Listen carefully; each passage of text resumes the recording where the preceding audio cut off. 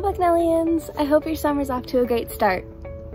We are a newly formed group on campus leading a recycling outreach initiative called the Recycle Plastics Challenge. And we want you to get involved.